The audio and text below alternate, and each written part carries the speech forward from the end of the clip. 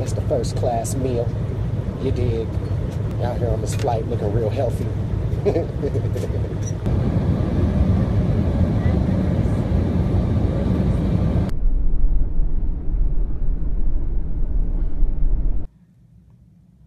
Getting this shit together.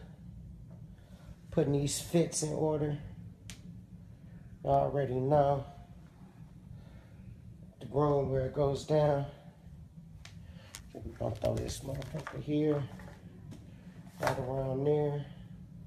It's gonna be real nice. Yeah, either that or this. I'll throw that over there. It's gonna look real slick. Cool. One over there. Mm-hmm. That's what we're doing. Putting it together. That's how you get down. Get your energy. Get it popping.